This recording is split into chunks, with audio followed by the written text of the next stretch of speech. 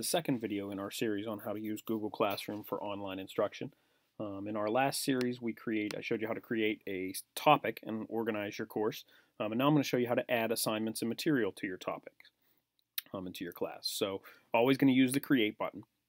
Um, and you have a couple different options. You can add an assignment, which is usually something that you want the kids to edit or where they're going to create um, a product and then submit it to you for grading. You can have your students take a quiz um, that you create in Google Forms. You can have them do an open-ended response using the question option, or you can add material, um, which is just something for the kids to read or look at um, as part of creating an assignment. So I'm going to show you how to use an assignment and material in this video. So to create an assignment, you would open it up and I'm going to use the example of how a bill becomes a law.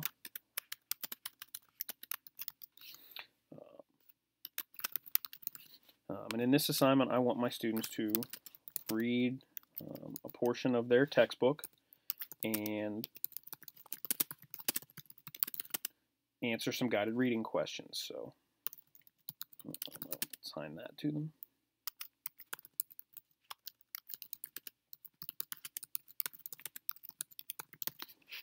Um, and so once you create the assignment, you have a bunch of options. You can assign it to all your students or to individual students. You can set a point value. You can set a due date um, using your calendar and giving them a time that you want it due um, if you want to be really specific. Um, and then you can assign it to a topic. So we created our sample topic and I'm going to assign it um, to that. Um, you can also add a rubric if you have one for this individual assignment, um, or you can just put your grading criteria in your instructions. So once you have it set up, you just need to add whatever the assignment is. So um, if you want the students to manipulate something you've already created, you just add to the assignment. So I'm going to use um, an assignment I already created.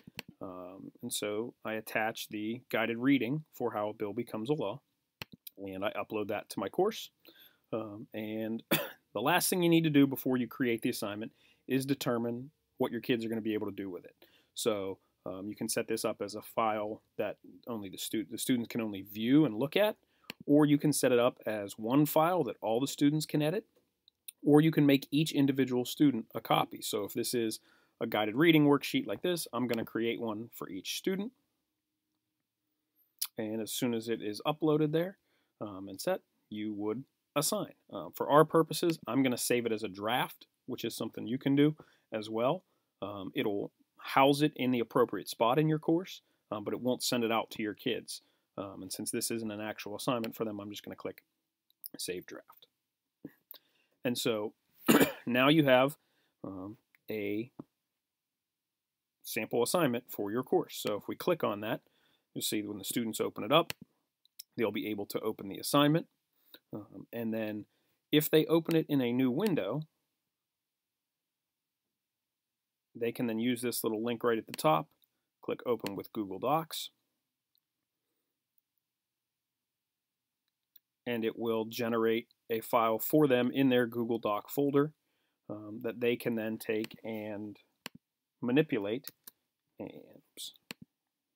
um, once they save it, they can type the answers right into the assignment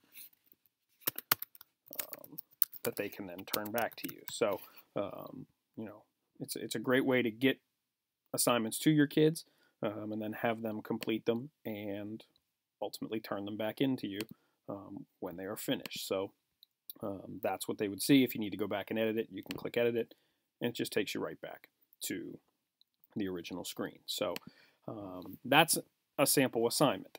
Um, if you want to do a, a piece of material that you don't want the kids to edit, you just click same process. Add material. You pick your topic. Um, so again, sample topic.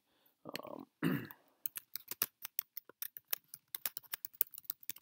and I'm going to do um, add a PowerPoint or two for my kids for that How a Bill Becomes a Law assignment. So um, tell them to use these PowerPoints to help you complete the how a bill becomes a law. Guided reading. and so now, since this is material, the kids are not going to be able to edit it. Um, so I can just put up a PowerPoint. Um, so for this one, I have a PowerPoint on how a bill becomes a law that I want them to use, and I also want to add um, a flow chart that I have for how a bill becomes a law. Um, so I attached both files. I can upload them at the same time, put them on the same um, piece of material, and as soon as it uploads,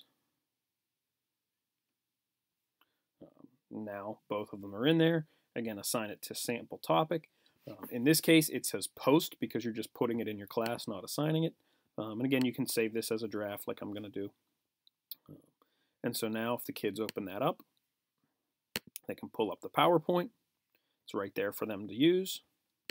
And I can pull up the other option. Um, and you can see the material that you need your kids to see in order for them to have the information they need to do their work. So, um, you know, that's the, the basic difference between an assignment and material. Uh, you know, uh, something you just need to kind of figure out what best fits you and your class um, and what your needs are. So, hopefully that helps you understand the difference.